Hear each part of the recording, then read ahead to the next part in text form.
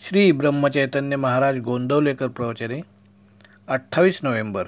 श्रीराम जय राम जय जय राम. भगवंतास पाहण्यास स्वांतर शुद्ध करावे. अंतेमतीही सा गतीही असे एक वचन आहे. जन्माचे खरे कारण शोधून पाहिले तर हेच आढळेल की वासनेमुळे जन्माच्या फेऱ्यात आपण सापडलो. जन्माच्या पाठीमागे मरण हे ठेवलेलेच असते. जन्ममरणाचा ओघ सतत चाललेला आहे. वासना आधी का जन्म आधी? या वादात पडणे म्हणजे बीज आधी का झाड आधी? यासारख्या जगाच्या अंतापर्यंत कधी न सुटणाऱ्या प्रश्नाबद्दल काथ्याकूट करणे होय. आपल्याला नडते कुठे ते पाहावे. विषयांतच आम्ही गुंतून गुंतून राहतो ते सोडावे. असत्यातूनच सत्य कसे जाणता येईल? ते पाहावे. इथून कुणीतरी गेले. असे सावलीवरून आपण म्हणतो. त्याप्रमाणे ही जगतरूप सावलीच आहे. तिला असणारे खऱ्याचे अधिष्ठान जो ईश्वर त्याला आपण जाणून घेण्याचा प्रयत्न करूया.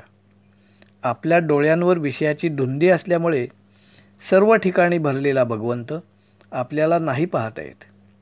त्याला पाहण्यासाठी दृष्टी निराळी करावी लागते.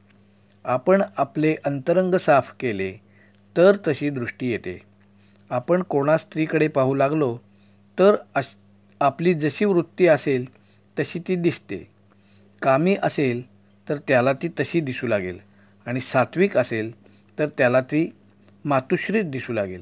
म्हणून काय? की जोपर्यंत आपले अंतःकरण शुद्ध नाही तोपर्यंत आपल्याला सर्वत्र भगवंत दिसणार नाही.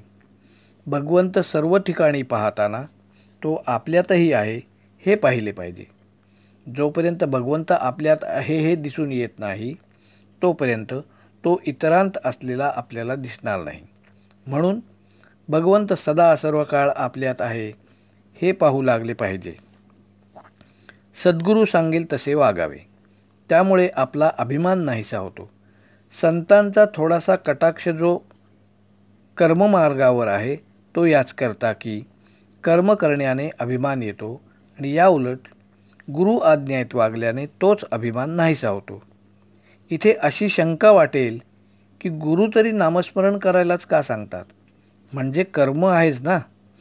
वैद्याने एका रोग्याला सांगितले की तू काही खाऊ नकोस.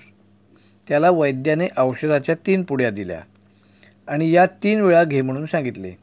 त्यावर तो रोगी म्हणाला तुम्ही खाई खाऊ नका म्हणता आणि या पुड्या घ्या म्हणून सांगता हे कसे? त्यावर वैद्याने सांगितले पूर्वी जे अजीर्ण झाले आहे त्याचा नाश करण्यासाठी या पुड्या उपयोगी आहेत. त्याप्रमाणे गुरु आपल्याला नामस्मरण करायला सांगतात ते पूर्वीचा विषयाचा अनुभव नष्ट करण्यासाठी. जो आपली विषया वासना कमी करून आपल्यामध्ये नामाचे प्रेम उत्पन्न करील तोच खरा सद्गुरू होय. प्रपंच व परमार्थ यांचा छत्तीसाचा आकडा पाहून संतांनी तडजोड करण्याचा प्रयत्न केला. नामस्मरण करीत करीत प्रपंच करा हीच ती तडजोड. श्रीराम जय राम जय जय राम.